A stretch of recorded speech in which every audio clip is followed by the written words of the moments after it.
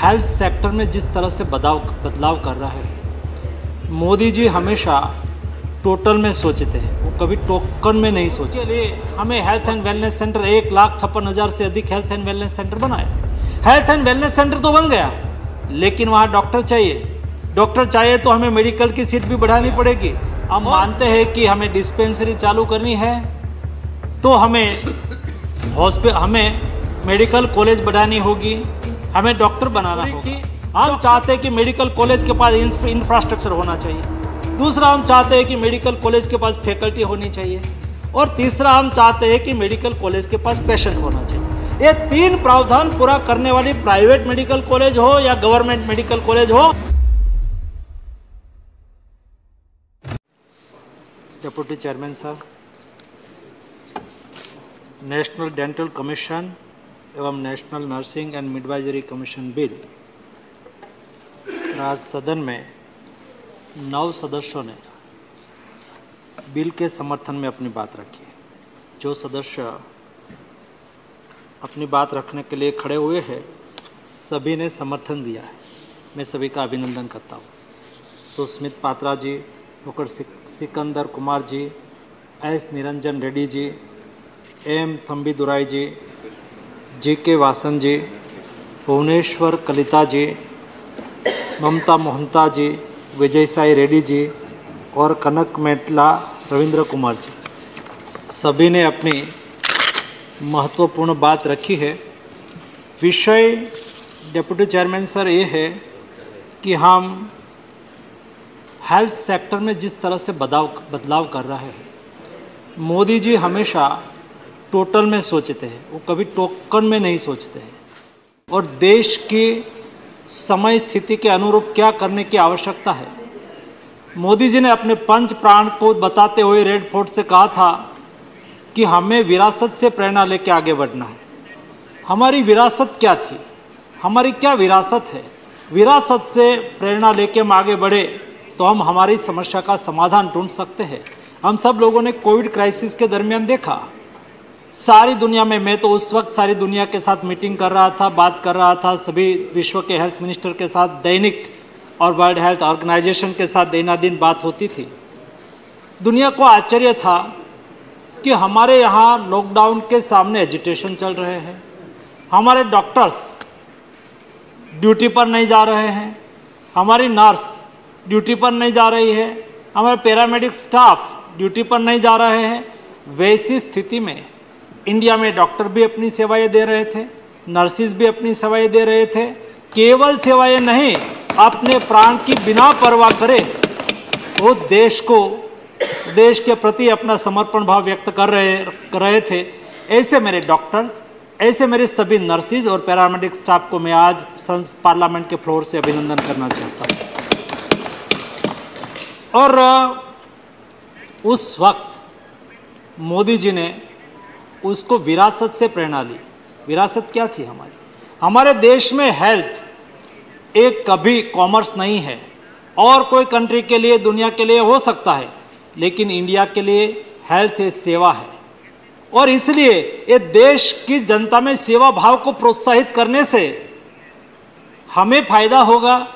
या तो उसका बेसिक उसका मन को हम कंट्रोल सकते हैं। मोदी जी ने उस वक्त हमारे हेल्थ वर्क फोर्स के लिए ताली बजाई थी, थाली बजाई थी। आकाश में ट्राई कलर से उसको अभिनंदन किया था और उसके जवाब में हमारे सारे देश के कोरोना वॉरियर्स लगे और देश को कोविड कोविड क्राइसिस से बचा लिया। ये हमारी विरासत है और विरासत से प्रेरणा लेके हम होलिस्टिक अप्रोच के साथ बदलाव करते हैं।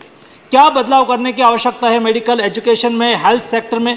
जो भी बदलाव करना है, एक होलिस्टिक अप्रोच के साथ हमने केवल डिस्पेंसरी खोलने की बात नहीं की। भूतकाल में होता था, मांग आई तो डिस्पेंसरी खोल दो। जी नहीं, हमने डिस्पेंसरी भी खोली, लेकिन जब हम health and wellness centre last mile के व्यक्ति के, व्यक्ति को हेल्थ सर्विस प्रोवाइड करनी है अफोर्डेबल हेल्थ केयर उपलब्ध करानी है तो उसके लिए हमें हेल्थ एंड वेलनेस सेंटर एक लाख छप्पन हज़ार से अधिक हेल्थ एंड वेलनेस सेंटर बनाया हेल्थ एंड वेलनेस सेंटर तो बन गया, लेकिन वहाँ डॉक्टर चाहिए। डॉक्टर चाहिए तो हमें मेडिकल की सीट भी बढ़ानी पड़ेगी। और मैं आपको ये फ्लोर पर बताना चाहता हूँ कि 2014 के पहले 54,000 एमबीबीएस की सीट थी। आज एक लाख सात हज़ार एमबीबीएस की सीट बन आज मेडिकल एमबीबीएस की कॉलेज साढ़ा तीन सौ थी। आज 704 एमबीबीएस की कॉलेज है मेडिकल कॉलेज है। एक क्यों किया? हम मानते हैं कि हमें डिस्पेंसरी चालू करनी है। तो हमें हॉस्पिटल हमें मेडिकल कॉलेज बढ़ानी होगी, हमें डॉक्टर बनाना होगा। डॉक्टर बनने लगा और उसके साथ साथ मेडिकल एजुकेशन हम अच्छा बेहतर और विश्व की आवश्यकता के अनुसार, देश की आवश्यकता के अनुसार डॉक्टर का भी निर्माण करें और स्टैंडर्ड क्वालिटी एजुकेशन भी दे। Not only for M B B S या medical education but nursing is also one part of medical education dentistry is one part of medical education ये सब मेडिकल एजुकेशन का allied health services is also one part of medical education ये सब medical education का एक part है और देश की रिक्वायरमेंट को भी हमें ध्यान में रखना है और दुनिया की आवश्यकताओं को भी हमें पूरी करना है। उसके लिए जो एक होलिस्टिक का एफर्ट हमने लिया है, इस एफर्ट के फलस्वरूप हम सबसे पहले मेडिकल नेशनल मेडिकल कमीशन लाए। उसको सक्सेसफुली इम्प्लीमेंट किया। उसके बाद एलाइड हेल्थ सर्विसेज़ बिल लाए। एलाइड 56 टाइप की हेल्थ सर्विसेज़ के को रेगुलेट करने के लिए quality education skill manpower तैयार करने के लिए क्वालिटी एजुकेशन का प्रावधान किया। उसको आगे बढ़ते बढ़ते हम आज डेंटल कमीशन कमीशन बिल और नर्सिंग मिडवाइजरी बिल लेके आए हैं। और उसके लिए बहुत बड़ी, उसके लिए रिकमेंडेशन भी हुई है। और मेंबर ऑफ़ एक्सपर्ट कमेटी 2013 में बनी थी और पीजीआई चंडीगढ़ के एक्सपर्ट कमेटी ने कहा था कि सभी एजुकेशन के लिए आपको स्वायत्त कमीशन बनाना होगा। जो काउंसिल चल रही है, उसके जगह पे आप कमीशन बनाओ, ऐसी रिकमेंडेशन की थी। Department related parliamentary standing committee ने 2017 में 109वीं रिपोर्ट में भी कहा था कि सभी विभाग के सभी इस सेक्टर के लिए मेडिकल एजुकेशन के लिए अलग कमीशन होना चाहिए और नेशनल हेल्थ पॉलिसी 2017 में बनाई गई थी। उसमें भी बात रखी गई थी कि सभी हेल्थ सेक्टर के लिए अलग कमीशन का प्रावधान हो उसको देखते हुए हमने दो कमीशन लाए और तीसरा कमीशन हम आज लेके आए हैं। ये लेके आने के लिए क्या ये, ये, उसको क्यों अनुशंसा करनी पड़ी? मैं इस फ्लोर पर बताना चाहूँगा कि समय के साथ बदलना बहुत आवश्यक होता है। समय के साथ हम ना बदलाव करें तो हमें पीछे पीछे रहने के, रहना पड़ जाता है। और इसलिए हम स्टैंडर्ड एजुकेशन कैसे दें? नर्सिंग का स्टैंडर्ड एजुकेशन क्योंकि सिनारियो बदल गया। डेंटिस्ट्री पहले केवल टिथ निकालना था, अभी बहुत उसमें बदलाव हो गया। अलग अलग टाइप के एक्सपर्टाइज आ गई अलग अलग टाइप के डेंटिस्ट्री में भी अलग अलग विभाग के एक्सपर्ट होने लगे। उसके लिए एजुकेशन सिलेबस तैयार करना, उसके लिए कोर्सेज चालू करना उसके लिए सीट का प्रावधान करना और उसके लिए जो बदलती बदलते समय की आवश्यकता है, उसको कैसे हम फुलफिल करें? उसका भी विचार करना आवश्यक था। उसको आज स्थिति ऐसी थी, जो काउंसिल हम सब लोगों ने मेडिकल काउंसिल की स्थिति देखी थी। और आज मेडिकल काउंसिल में और उस वक्त मेडिकल मेडिकल कमीशन में और काउंसिल में क्या फ़र्क पड़ गया?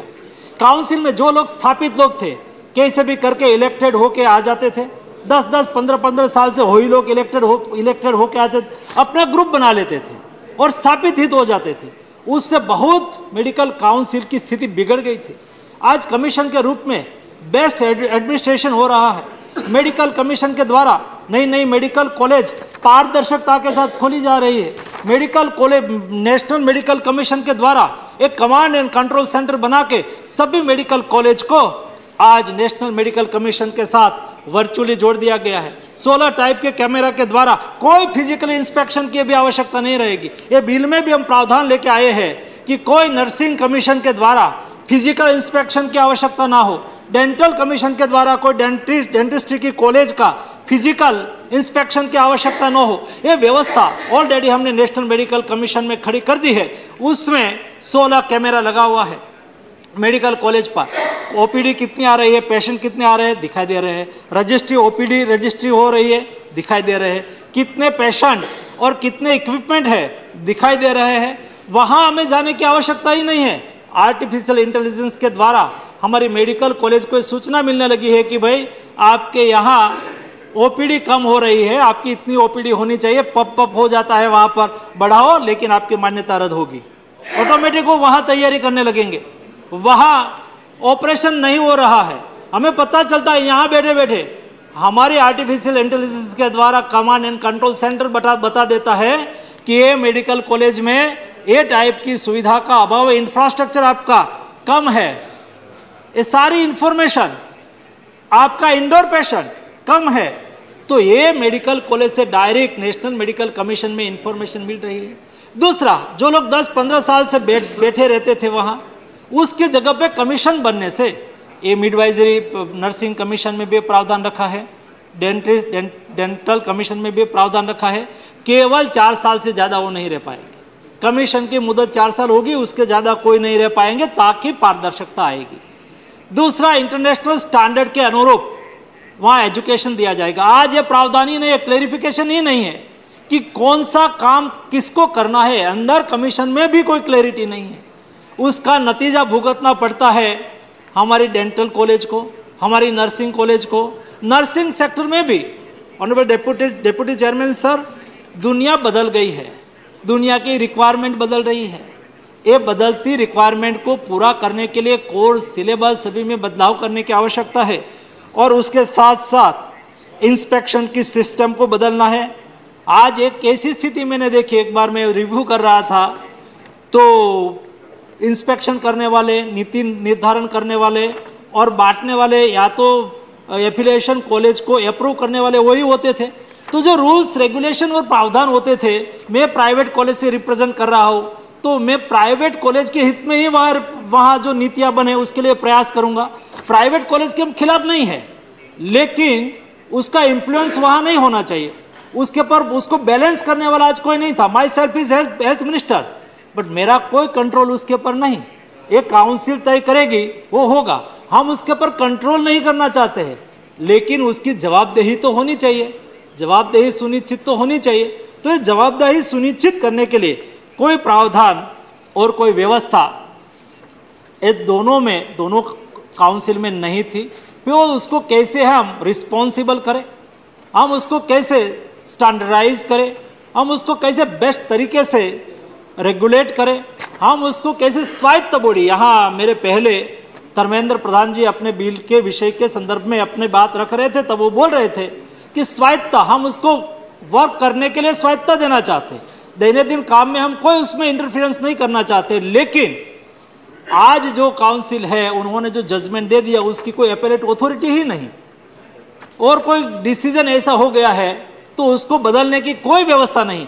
आज नेशनल मेडिकल कमीशन में हमारा एमएआरबी बोर्ड कोई डिसीज़न ले लेता है, वो अपनी वजह से कोई गलत डिसीज़न ले लेते हैं, ऐसा हमारा कहने का आशय नहीं है, लेकिन उन्होंने कोई डिसीज़न लिया और उसके सामने किसी को कुछ कहना है मेडिकल कॉलेज को कुछ कहना है तो आज वो मेडिकल कमीशन के चेयरमैन के सामने अपील करते हैं। मेडिकल कमीशन के चेयरमैन से भी उसको सेटिस्फेक्शन नहीं हुआ तो मिनिस्ट्री में वो अपील कर अपील करते हैं और वहाँ से तीन स्टेप उसको मिल जाता है, बाद में ही उसको कोर्ट में जाने की स्थिति निर्माण होती है, ताकि कोर्ट का केस भी नहीं बढ़ता है। पहले ऐसी स्थिति थी, हर दिन, हर मेडिकल कॉलेज कोर्ट में चली जाती थी। मैं आज आपको माननीय डिप्यूटी चेयरमैन सर बता, बताना चाहूँगा, खुशी से बताना चाहूँगा a this year 54 new medical college हमने अलॉट की है। 54 न्यू मेडिकल कॉलेज को परमिशन दी प्राइवेट को भी दी है गवर्नमेंट को भी दी है। लेकिन आज कोई कोर्ट केस नहीं हुआ है। सब कंसंस से हुआ है। हमने उसको बता दिया है, भाई, आपके यहाँ फैसिलिटी नहीं है। हम नहीं देंगे। एकदम पारदर्शकता के साथ, कोई किसी को मिलना नहीं है। मैंने मेडिकल कॉलेज को पहले तो ऐसा था कि मेडिकल कॉलेज लेना मतलब दूसरी, तीसरी बात होती थी। हमने क्लियर किया। मैंने स्वयं ने एक बार सभी मेडिकल कॉलेज की मीटिंग करके कहा, कोई किंतु परंतु की जगह नहीं है। कोई बिचौलियों को ढूँढने की आवश्यकता नहीं है। आपने रिक्वायरमेंट पूरी की। हम चाहते हैं कि मेडिकल कॉलेज के पास इंफ्रास्ट्रक्चर होना चाहिए। दूसरा, हम चाहते हैं कि मेडिकल कॉलेज के पास फैकल्टी होनी चाहिए। और तीसरा, हम चाहते हैं कि मेडिकल कॉलेज के पास पेशेंट होना चाहिए। ये तीन प्रावधान पूरा करने वाली प्राइवेट मेडिकल कॉलेज हो या गवर्नमेंट मेडिकल कॉलेज हो, आप खुशी से आइए। भारत सरकार आपको अप्रूवल दे देंगे। आज 54 न्यू मेडिकल कॉलेज को अप्रूवल ए साल में दिया गया। क्योंकि हम देश में हम नहीं चाहते हैं कि यहाँ इस तरह से हम रेगुलेट करके रखें मेडिकल एजुकेशन को नर्सिंग एजुकेशन को डेंटल एजुकेशन को, ताकि हमारे स्टूडेंट को विदेश जाने की नौबत आए। हमारे प्रतिवर्ष हज़ारों की संख्या में हमारे स्टूडेंट विदेश पढ़ने के लिए जाए और वहाँ खर्च करे। वहाँ एजुकेशन क्वालिटी कैसी है, नहीं है, उसका मैपिंग हम यहाँ बैठ के तो नहीं कर सकते हैं। और हमने कोविड क्राइसिस के दरमियान यूक्रेन की स्थिति देखी, जब मुझे मेल आने लगा कि हम यूक्रेन और रशिया का युद्ध चालू हो गया है, हम यहाँ फंसे हुए हैं, हमें यहाँ से बाहर निकालिए। और मैं बात माननीय प्रधानमंत्री जी के सामने रखी तो प्रधानमंत्री जी ने कहा कि केवल यूक्रेन में ही नहीं होंगे, दुनिया के देशों में कितने हमारे स्टूडेंट पढ़ते हैं, मेडिकल एजुकेशन में है तो पता चला कि साठ हज़ार स्टूडेंट विदेश में पढ़ रहे थे।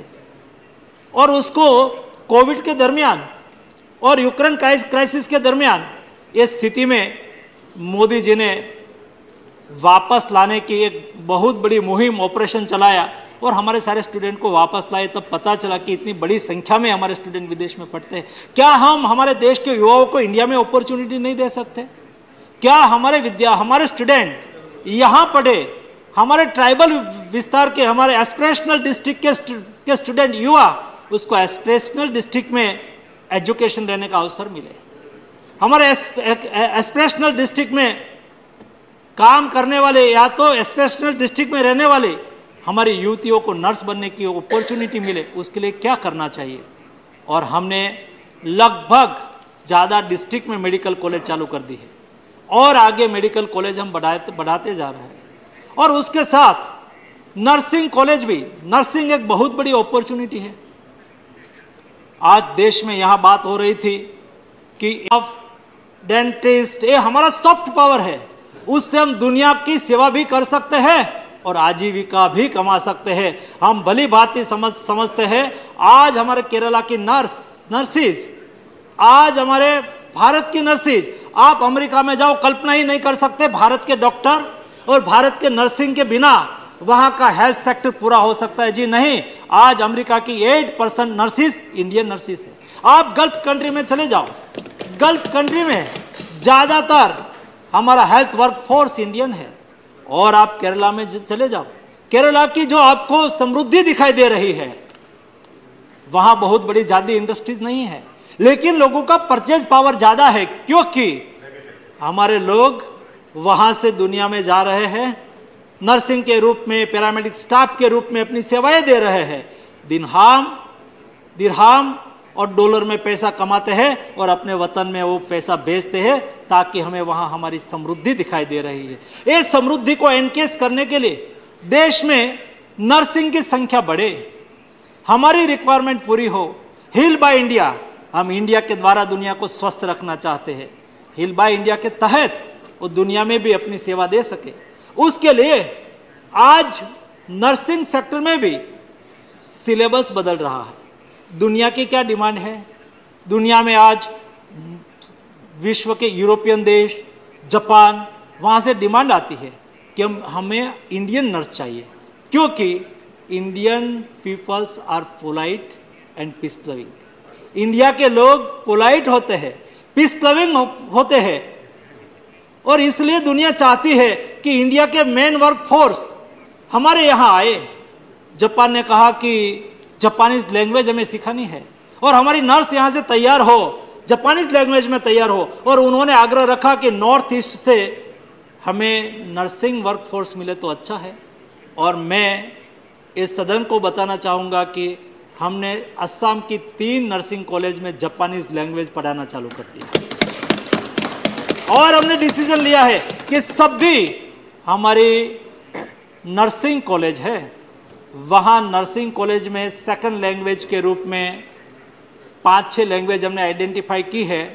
ये पाँच छः language French language German language Japanese language Arabic language उसमें से कोई ना कोई एक लैंग्वेज सीखे ताकि वो वह, वो यहाँ से वहाँ जॉब के लिए जाए तो उसको सुविधा रहे और दुनिया की भी मांग पूरी हो और हमारे देश के लोगों को रोजगारी का अवसर भी मिले। देश में भी रोजगारी का अवसर मिले। और केवल हम मेडिकल नर्सिंग कॉलेज खोल रहे हैं, उसके साथ हम देश में सरकार की ओर से प्रधानमंत्री जी ने बहुत महत्वपूर्ण डिसीज़न लिया कि हमने मेडिकल कॉलेज चालू की है। सभी मेडिकल कॉलेज के साथ एक नर्सिंग कॉलेज भी हम मंजूर करते दस करोड़ रुपया एडिशनल दिया जाएगा, ताकि मेडिकल कॉलेज के साथ एक नर्सिंग कॉलेज भी बीएससी नर्सिंग कॉलेज भी वहाँ स्टार्ट हो और वहाँ बेहतर एजुकेशन मिले।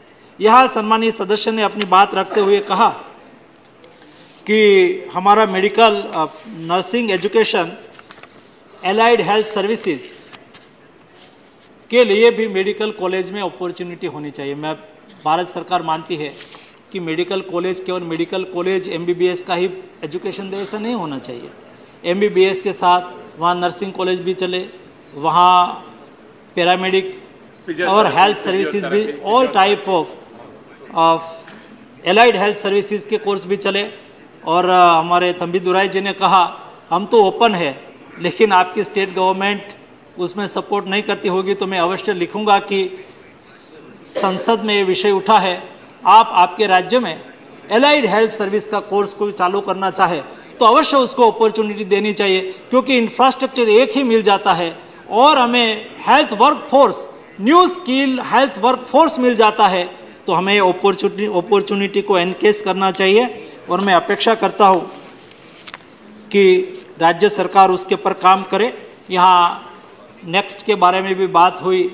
नेक्स्ट की एग्ज़ाम हम मेडिकल कॉलेज में भी एमबीबीएस के भी लेना चाहते हैं। और डेंट डेंटल कमीशन द्वारा डेंटिस्ट्री और नर्सिंग के लिए भी लेना चाहते हैं।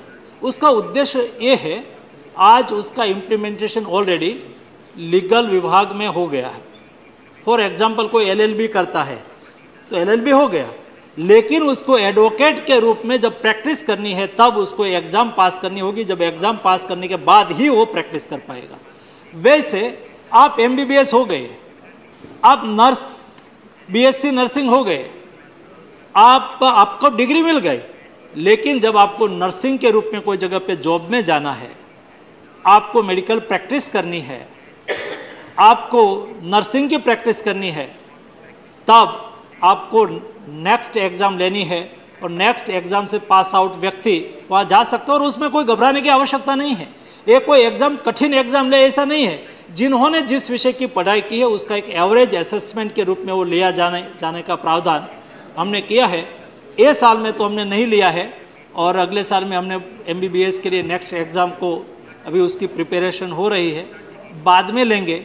लेकिन एक तरह से सारा मेडिकल पैरामेडिकल एजुकेशन एक सिस्टम में आ जाए, ये हमारा उद्देश्य है ताकि हम बेस्ट से बेस्ट हमारा नर्सिंग एजुकेशन दे पाए। हम बेस्ट से बेस्ट हमारा डेंटिस्ट एजुकेशन दे पाए। मैं अपेक्षा करता हूँ कि दोनों बिल आने वाले समय की मांग को पूरा करने के लिए है मेडिकल एजुकेशन का। हमारे देश की वर्तमान रिक्वायरमेंट को भी पूरा करना है, देश की भविष्य की रिक्वायरमेंट को भी पूरा करना है क्वालिटी एजुकेशन हमें हेल्थ सेक्टर में प्रोवाइड करना है, स्थापित हितों से देश को मुक्ति दिलाना है। एक पारदर्शी एजुकेशन हेल्थ सेक्टर में हो, उसके लिए जो हमने बदलाव शुरू शुरू किया है उसकी श्रेणी में ये तीसरा और चौथा बदलाव है। फार्मेसी कमीशन भी पांचवा बदलाव के रूप में आएगा ताकि एजुकेशन की सिनर्जी बनी रहेगी। पारदर्शिता से इस सेक्टर में एजुकेशन होगा। कोई बिचौलिया और किसी की रिकमेंडेशन की आवश्यकता नहीं होगी।